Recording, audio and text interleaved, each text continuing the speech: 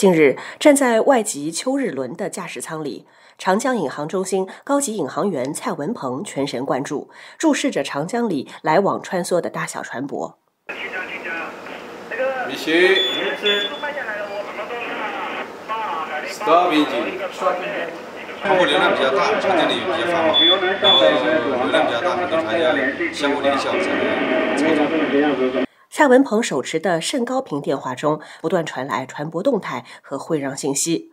他指挥安航拖一号、安航拖六号两艘大马力拖轮将外轮拖出泊位，缓缓滑入长江航道。巨轮上搭载着三点六万吨货物，出江后将驶往沙特阿拉伯的达曼港。一五年好像是一个船叫远见，这个船船长呢是一百三十米，是一个前驾驶的，当时是装一个。大舰是装那个暗调，暗调到那个“一带一路”的共建国家的一个船，当时感觉还是比较激动的，因为这个船毕竟是到呃共建呃“一带一路”的共建的国家的，呃，当时就是想把这个船的安安全全的，就是引到引到宝山。对外国籍船舶实行强制引航，不仅是国际惯例，而且是行使国家主权的体现。由于国际海轮进江不熟悉地形，船舶进出港口时需有人指引，协助船舶靠离码头和航行。承担这项临时船厂工作的人就是引航员。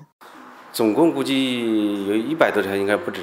最开始的是什么？那个码头上的暗吊啊，还有那个呃那个工程车，那个呃挖掘机啊什么的，呃汽车什么的比较多一点。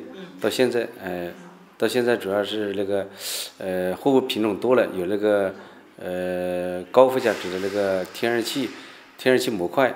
二零二三年是共建“一带一路”倡议提出十周年。南京海关统计，十年来处于“一带一路”交汇点上的江苏与“一带一路”共建国家进出口总额，从二零一三年的一点一六万亿元扩大到二零二二年的二点二三万亿元。年均增长百分之六点五。我引领的第一条“一带一路”的船舶应该是韩国籍的，呃，东方金融一号轮。这个船呢，主要装载的货物呢是，呃，海水淡化设备。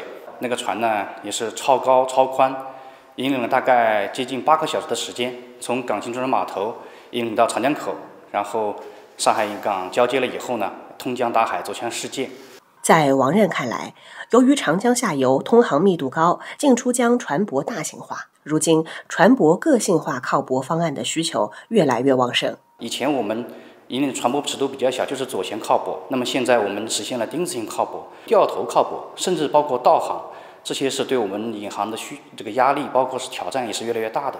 在江苏省张家港港新重装码头，一台全自动集装箱场地轨道吊正在就地组装，待其组装完成，将被整体上船发往“一带一路”共建国家。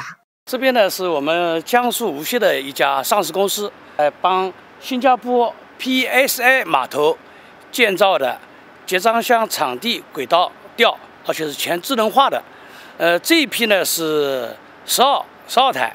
前面一批呢是二十八台，刚刚发运完毕。上半年，王任是土生土长的张家港人，在他看来，共建“一带一路”倡议连接起来的不仅是世界各地的货物订单，还有人。经常沟通一下我们中国的传统文化，当然我们也尊重他们的文化，保证安全的前提下，给他们送了一些我们具有中国传统特色的，比如中国结啊、春联啊，向他们解释一下，代表这种好的运气啊。但船长也是很开心的。